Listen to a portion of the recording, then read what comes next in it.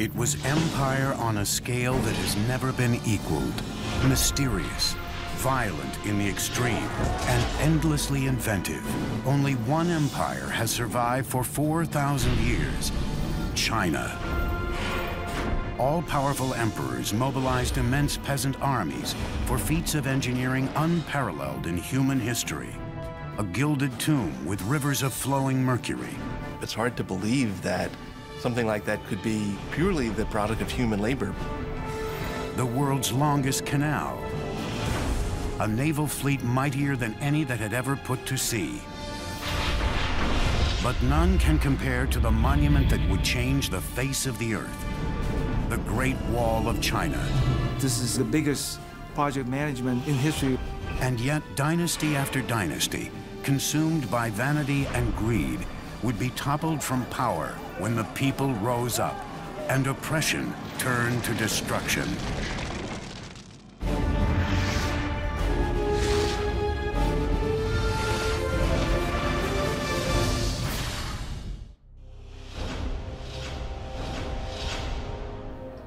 At the dawn of civilization, the Chinese were there, and they are still here. Hello, I'm Peter Weller. When the Egyptians were building their pyramids, the Chinese already had sumptuous palaces for their kings. When Rome was planning its soaring aqueduct that would bathe its citizens and quench their thirst, the Chinese were redirecting an entire river by blowing up a mountain before gunpowder and building a dam that would irrigate thousands and thousands of acres of land and launch a population explosion the world had never seen.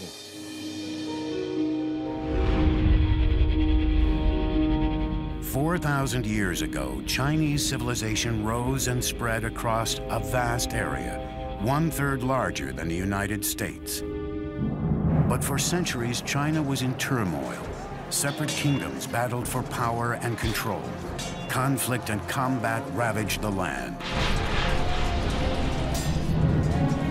China was, as we think of it today, more or less, was made up of a number of states, all of which were fighting with one another for supremacy.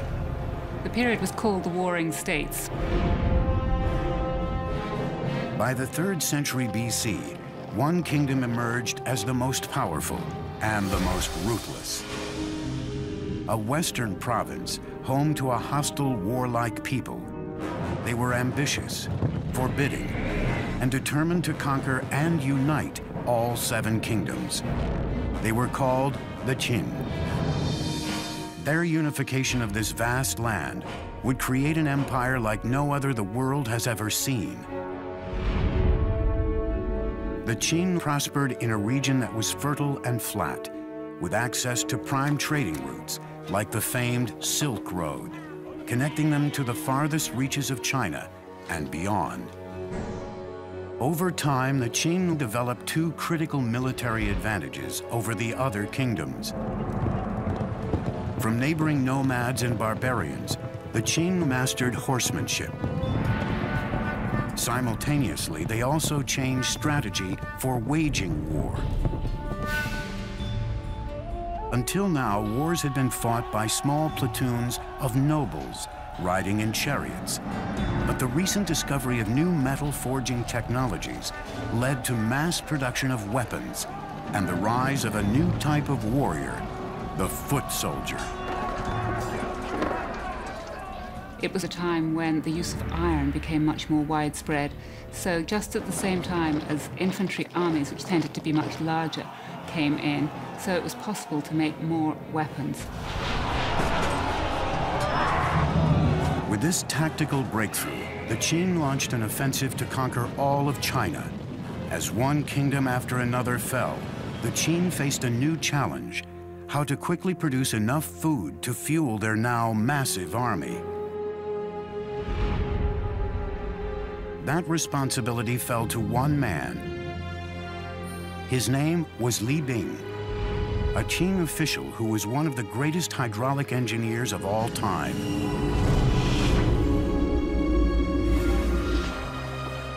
Under his guidance, Chinese builders would construct a masterpiece of engineering.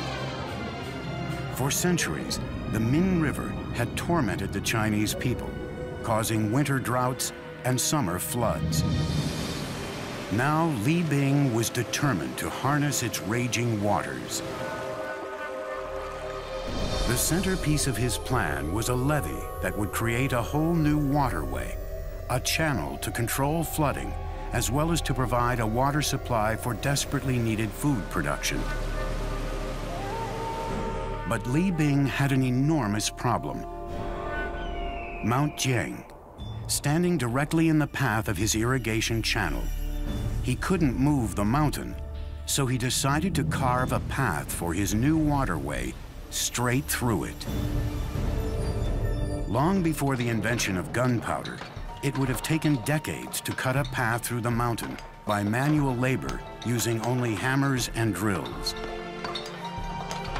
The Qin military demanded more immediate results, forcing Li Bing to devise a bold new technology.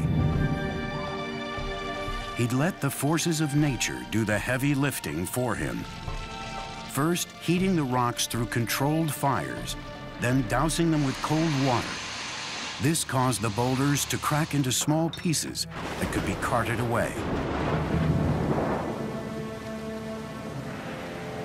Eight years after he started, Li Bing had blasted an irrigation channel straight through the mountain. Now he had to construct the enormous levee that would divert the waters of the Min into the new irrigation channel. Thousands of workers were brought to the site, working with nothing but muscle and chisels, carving out the earth. Remarkably, Li Bing designed a levee that could regulate the raging waters of the Min according to the season. In summer, more water could be driven to the irrigation channel to prevent flooding along the river. In winter, the proportions were reversed, directing more water into the river to avoid drought. By irrigating a vast stretch of Qin territory, Li Bing's levee triggered a massive population boom, and the military had a new base to launch attacks into enemy territory.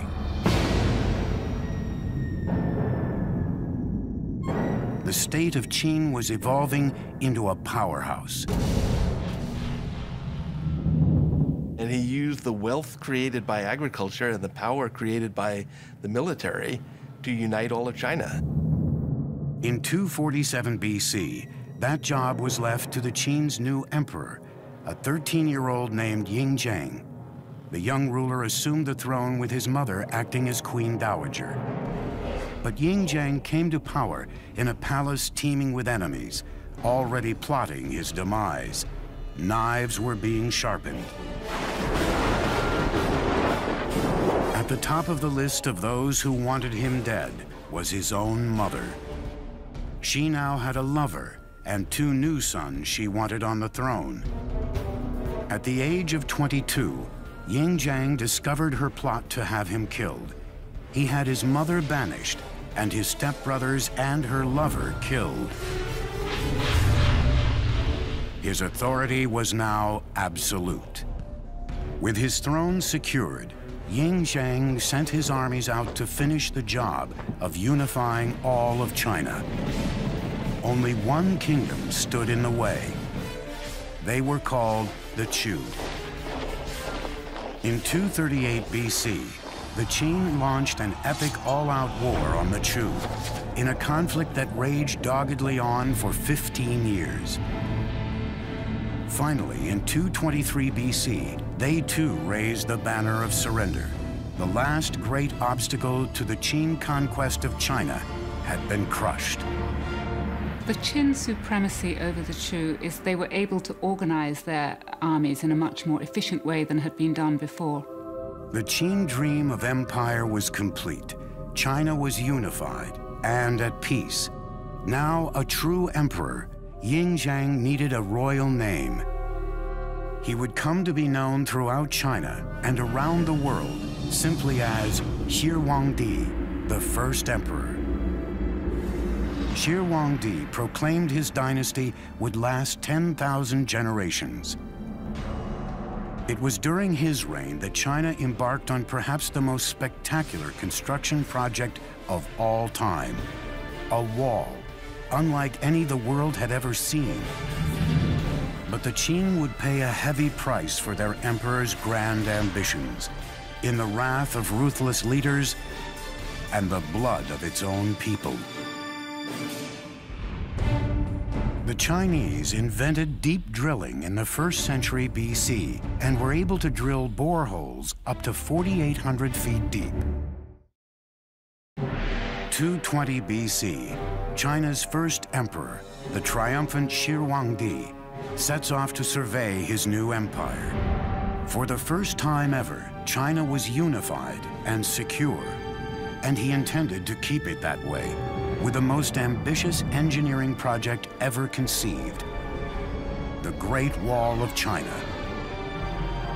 Well, the Great Wall was a linking up of walls that had existed previously. A number of states in the north of China had built walls partly to defend against one another, but more importantly, to defend their northern frontier. It remains to this day unsurpassed by modern engineering a single impregnable barrier to seal the vast Chinese empire from the outside world, along a border that stretches for thousands of miles. This is Chongcheng. In Mandarin, it means long wall. And believe me, covering more turf than the continental United States is wide, and including all of its spurs that go off into no place, it's 6,000 miles. And man, that's long. Shi Huangdi, China's first emperor, started building it 2,000 years ago. It was worked on right up until the 17th century. But the original wall didn't look like this. It was kind of a mud brick affair, but it presented an interesting engineering challenge nonetheless, because it had to go all the way from the sea in the east to the Gobi Desert in the west, just to keep the northern nomads like the Mongols out and the Chinese people in. If it took the audacity of emperors to dream great, it took the relentless drive of the Chinese labor force to build great, but not without a price. Their capacity to endure hardship was unimaginable. Men, women, and children worked with their hands on this wall, and if you complained or tried to run away, you were killed. Disease was constant, injury was commonplace. Dressed only in rags, these people suffered bitter cold, bitter hunger, bitter exhaustion. Records say that at the height of production on this wall, close to one-fifth of China's entire labor force, one million people were working here, and a quarter of those people died. And if you died here, usually you were buried here, in the wall, giving rise to its other nickname among some, the Long Graveyard. Millions of arms and legs and backs were broken to build the wall. There is very moving poetry, mostly written by wives and mothers, about young boys going off and working on the Great Wall Project, not having food, dying in the uh, cold winters, and never returning home. But brute force would not be enough. Different regions had vastly different terrain and varying construction materials on hand. Wherever possible, engineers added to existing walls, but most of it was built from scratch. They devised a brilliant system utilizing one material they had in abundance. The tamped earth method is what Chinese is called a hang tu. What this means is that you build a wooden frame to enclose the wall, and uh, you start low with, say, two boards parallel, and then you pour some gravel and some sticks and some clay, and then you use the end of a log to beat it and pound it until it's very, very compact. And then you put another layer in, and you keep doing that. And then you put other uh, boards on the outside to hold it in place. And you keep going up and keep going up until you reach the height that you want. When it was dry, the frame was removed, leaving just a solid slab of tamped earth, strengthened by the willow reeds like the steel rebar that reinforces modern concrete. The southern side, facing China, was defended by a simple parapet, while the northern side, facing the barbarians, was crenellated. There was a guard tower every 700 to 1,000 yards. A paved road ran along the top of the wall for troops and even wagons, making it an efficient communications route, especially for the soldiers stationed at each tower. But as a work of military engineering, the wall was only partially successful. A wall exists to be defended, but in the long run, the wall was not very defensible. Nomads could break through it or go around it, bribe their way through it. But the Great Wall was not only designed to keep barbarians out, it was also a symbolic dividing line, locking the Chinese in. The Great Wall, in a sense, is a cultural marker as much as it is a military fortification. It's the way of the Chinese saying to the nomads, you stay out there and raise horses and sheep, and we'll stay in here and grow grain. By 210 BC, the Great Wall had stretched over 3,000 miles, leaving an indelible mark on China's harsh terrain. But resentment was swelling into a rage against Shi Huangdi. Many in his kingdom felt the colossal barrier was not worth the toll it inflicted on the Chinese people. Once again, his enemies were plotting against him. Shi Huangdi's final years were marked by what I think is reasonable to call paranoia. But as the old joke says, just because you're paranoid doesn't mean people aren't out to get you. At least three assassination plots came very close to succeeding. Shi Huangdi struck back by turning China into a virtual prison for its people he ordered all historical records of his ruthless regime destroyed. Punishment for anyone who didn't comply was forced labor or even death. Some 400 people were buried alive as a lesson to those who spoke out against the regime. When the emperor's eldest son objected, even he was banished. Shi Huangdi's brilliant vision had transformed China into a great empire but he paid the price with a descent into madness. He would now turn his obsessions and his army of forced labor to another stunning feat of construction begun years earlier. A monument to his own fear and death. In the 1040s, movable type printing was invented in China, a huge development in the history of printing. By 220 BC, Qin Emperor Shi Huangdi has united China for the first time. On the northern border, millions are toiling and dying laying the foundation for China's signature engineering triumph. The 3,000-mile-long Great Wall. But the first emperor wasn't done. Even as he fought against other Chinese kingdoms and his own demons, Shi began to garrison nearly 700,000 men near his capital in central China to build the most personal of all his engineering projects, an epic tomb he had begun planning at the age of 13. This was a monumental project that required the labor of thousands and thousands of people over a very long time. It was, by design, the biggest and best tomb that China had ever known. In 1974, farmers digging a well came face to face with an ancient Chinese warrior. The mysterious terracotta skull would prove the gateway to one of the greatest archaeological discoveries of all time. The mound is huge. The mound was always known to be the tomb mound of the first emperor. What was a total surprise was the uh, army of terracotta warriors about a kilometer to the east of the tomb, who presumably were guarding the approach to the tomb itself. Season after season of excavation since the 1970s has yielded more than five large pits the individualized faces and drapery and armor suggest that each one of these warriors was molded from the life from an individual separate human being. The precision and detail in the sculpting, the firing of the clay are unmatched today. These warriors are a colossal achievement and some believe the greatest archaeological find of the 20th century. But they are only the tip of the iceberg because this ghost army only served as a guard detail for an engineering feat as fantastic as the world has ever known, the opulent tomb of Shi Huangdi.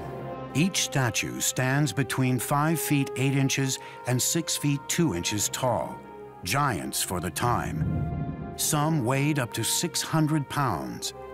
But it was the terracotta itself that sent shockwaves through the teams excavating the site. The clay had a hardness beyond anything they'd ever seen before, indicating that Shi Huangdi's artisans had developed a revolutionary new technology, blast furnace kilns that fired the statues at temperatures up to 2,000 degrees Fahrenheit. Archaeologists eventually uncovered three massive pits filled with the terracotta army guarding the first emperor's tomb. One pit alone contains over 6,000 life-size warriors and horses in battle formation. In a second pit, 1,300 of Shi Huangdi's elite military forces, including archers, chariots, and cavalry, were discovered. While the third pit, with 68 figures and one chariot, was the command center of the entire army, headquarters for the defense of Shi Huangdi's empire, even in death. The military armor is fairly specific. We can tell that the uh, armor used was lacquered leather. We can see that people had cleats on the bottom of their boots to help them run in the mud. We can see the kinds of caps people wore and associate them with rank. 30-foot walls divided the massive complex, which stretches out for 7,000 yards into three parts, the outer city and inner city, and then the mausoleum itself. During construction of the tomb, an army of workers excavated a gigantic terraced pit measuring about 1,600 feet by 1,700 feet, equal to 580 basketball courts. When the sprawling tomb complex was complete, it was topped with a terraced mountain of earth, nearly 400 feet tall. At the time, it may have been nearly as large as the Great Pyramid of Giza in Egypt. But over 2,000 years, weather has worn down the original man-made mountain to about 250 feet. It's hard to believe that something like that could be purely the product of human labor, but it is. Uh, that mound was put there, basketful of earth after basketful of earth, uh, to cover what we assume is, is an entire underground city dedicated to the afterlife of the first emperor. Shi Huangdi's tomb is definitely the expression of a guy who wanted his empire to blow away everything the world had ever known.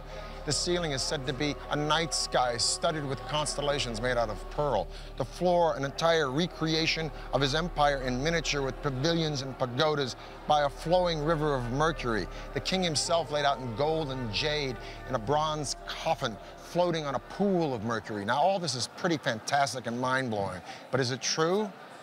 Well, scientific tests have proven mercury levels 100 times the norm around the mountain, and ground-penetrating radars detected a room inside the mountain 33 feet high. So the emperor's tomb may be all it's cranked up to be, but we're gonna have to wait to find out because the Chinese government has decided not to excavate the place until they have the technology to preserve what's inside. And even then, once they go in, it may be a very treacherous dig. There were corridors and trapdoors and booby traps that were designed to prevent tomb robbing. Now, we assume that those are no longer operable after a couple thousand years, but I'm sure whoever goes into that tomb first is going to step carefully. Shi Huangdi had boasted the Qin dynasty would last 10,000 generations, but just three years after his mysterious death, the vast empire collapsed. The first emperor paid a steep price for his epic engineering projects.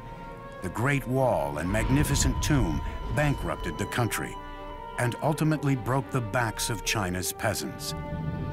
Pushed to their limits, the people revolted, and China was plunged into chaos. Shi Huangdi is said to have died from ingesting mercury, which he believed to be an elixir of immortality. Shi Huangdi, the first emperor of a united China, is dead. Few mourn. Many have eagerly anticipated an end to the hated and ruthless Qin dynasty. A vicious power struggle ensued for control of the empire. In a word, it was chaotic. Very quickly, after the death of Qin Shi Huangdi, things fell into civil war with various people vying for power. 206 BC, a new ruler comes to power determined to bring stability to China. His name was Liu Bang, a former soldier and cunning politician who knew how to win the hearts and minds of the people. Over the next four years, Liu Bang consolidated his rule and rallied the people behind him. Peace and stability returned to the empire. By the time he died in 195 BC, he had launched a dynasty that would thrive for nearly four centuries, the Han. The Han embarked on a wall-building campaign even more massive than Shi Huangdi's. They extended the Great Wall much further to the west than it had been and set up a set of garrisons and a series of watchtowers that guarded the trade routes out into Central Asia uh, for hundreds of miles to the northwest of the capital. The Han built their fortresses at closer intervals than earlier dynasties, every one to three miles. In areas of heavy enemy activity, that could increase to only 500 yards apart. Han soldiers had three critical missions along the wall. Defend against invasion, gather military intelligence on enemy activity, and keep the vital beacon towers maintained and supplied with beacon fire fuels. Han Dynasty signal towers incorporated several sorts of alarms. Flags and smoke were only used in the daytime, torches were only used at night, bigger bonfires and drums were used at any time, and complex codes were devised for these signals. And just like today, modern codes, they were all classified as top secret and unknown to the public. From around 200 BC to 200 AD, just about the time that Rome was dissolving as a republic, only to be reborn as an empire that would gobble up and transform the Western world, China was an empire that was consuming and transforming the East. During the Han Dynasty, the population of China grew to 50 million people. The empire went as far south as Vietnam, as far west as Afghanistan. It was massive. But after 400 years, just like Rome, internal disintegration started to overshadow military success, and in 184 AD, a peasant rebellion brought the Han Dynasty to a screeching halt. And once again, China was on the verge of chaos. For three centuries, warfare, treachery, and death were the rule in China. And once again, it took a ruthless hand to put an end to the time of turmoil. In the 6th century, a northern people, the Sui, declared war on the chaos, conquering one part of the empire after another, until China was united again, for the first time since the Han Dynasty fell, three centuries earlier the Emperor Yangdi would build the Sui Empire on the foundation of nearly 1,000 years of dynasties that came before. Unlike previous emperors who had concentrated on fortifying China against the outside world, Yangdi would channel his energies inward and strengthen his empire within its borders. China is vast and its waterways provided the most efficient means of transportation over such great distances. Two major rivers traverse the country east to west, the Yangtze in the south and the Yellow River in the north, but they are a thousand miles apart. China was a house divided. Yang Di decided to do something about that. He aimed to link northern and southern China by a gigantic central artery, a grand canal. a kind of hydraulic highway for merchants, soldiers, and citizens. Very common to China uh, in terms of constructing um, any large infrastructure project. You know, they would look at existing waterways and trying to find area where they could connect and link the entire uh, canal. They want to take advantage of the natural uh, geography this gigantic construction project would take more than one million man-days of work, most of it digging. Living and working conditions were horrendous, harsh and primitive. Tens of thousands died of starvation, fatigue, and illness. Many were simply beaten to death by overseers.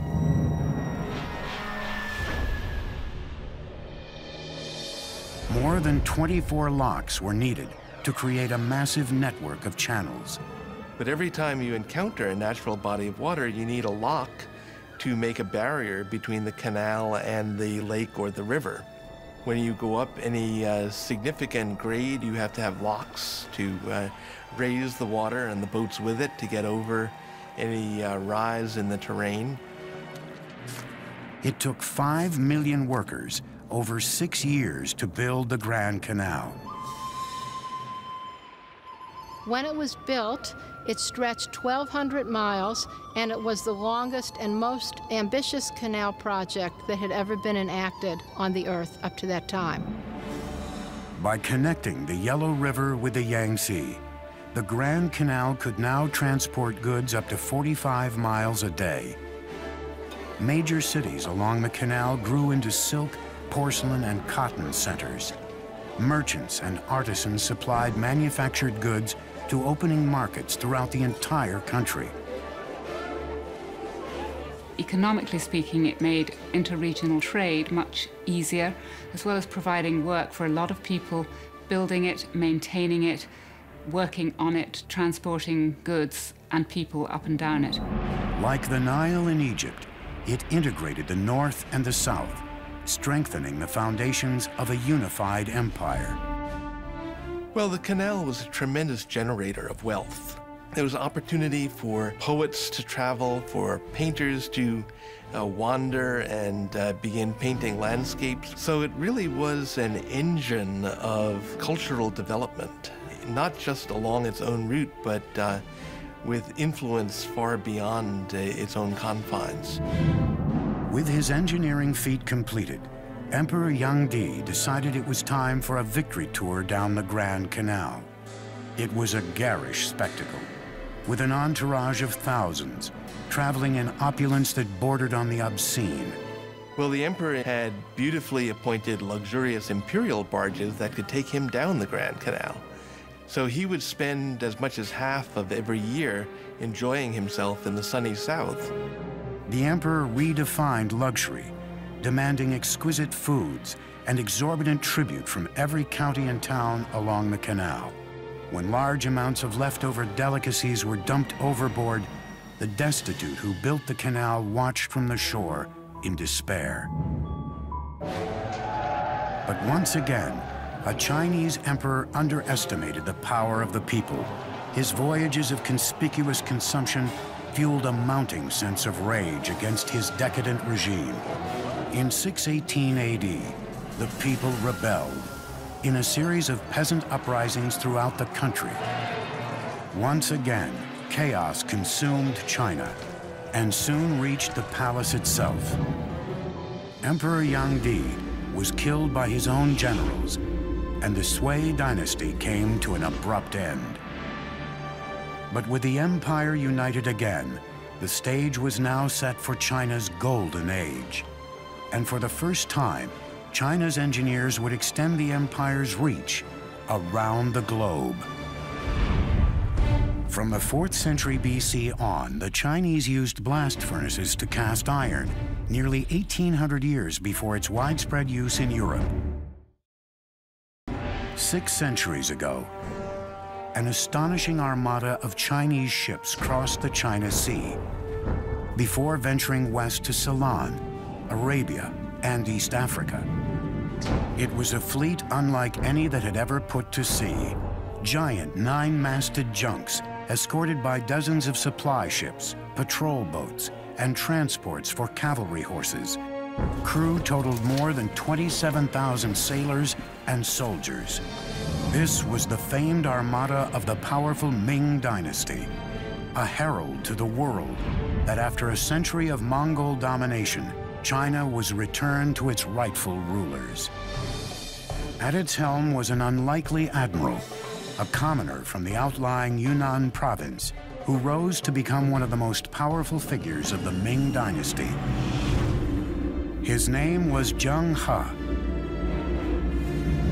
Zheng He was 11 when his hometown was conquered by the Ming. He was plucked from his family, brought to court as a gift for the emperor's son, and castrated. Eunuchs appear often in Chinese history, and the reason that they gained power was because they had much greater access to the emperor and to imperial women because they didn't pose a threat. Zheng He soon rose through the ranks to become the chief lieutenant to the emperor himself.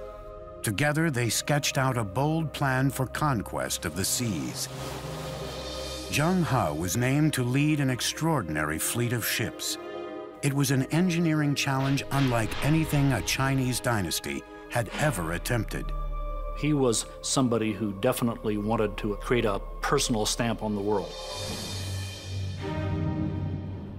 He ordered 337 ocean-going ships. An additional 188 flat-bottom transports were converted for ocean travel. Just to get the building materials together, get the craftsmen, get the designers and all the rest, and then say put together a fleet of 300 ships is remarkable. I mean, the British fleet in the time of uh, Napoleon, it had a really an upper limit of about 100 ships of the line, men of war. An army of 30,000 carpenters, sailmakers, and sailwrights worked and lived at the shipyards, working day and night on Zheng He's magnificent fleet. At the center of the enormous shipyard, seven 1,500-foot dry docks were separated from the Yangtze River by 25-foot high dams. Once the ships were complete, the dams were opened, flooding the dry docks. The flagship of the fleet was a spectacular nine-masted vessel measuring 440 feet, nearly 1.5 times the length of a football field, making it the largest wooden ship ever built. Designed for stability, it had a flat bottom filled with heavy ballasts of stones and an innovative exterior rudder post that could be raised to reduce the ship's draft in shallow waters. Watertight bulwark compartments, inspired by the partition shape of bamboo stalks, stored drinking water and supplies and kept the ship afloat if the hull was breached. The second deck had living quarters for the crew. The kitchen, mess hall, and operations were on the third, while the fourth deck was used as a high fighting platform. Fully rigged, the flagships had nine staggered masts and 12 square sails of red silk soaring skyward. Other ships were armed with as many as 24 bronze cannons, capable of firing up to 900 feet. Their bows and sterns had reinforced high profiles for ramming smaller boats. Some ships carried horses or transported troops, Others were freshwater tankers packed with provisions for up to 28,000 men.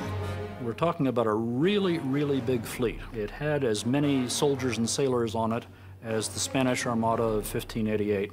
It had about twice as many ships. In 1405, the eunuch commander Zheng He set sail for the world. Zheng He was not an explorer. Uh, what Zheng He was doing was what we would call in modern terminology power projection.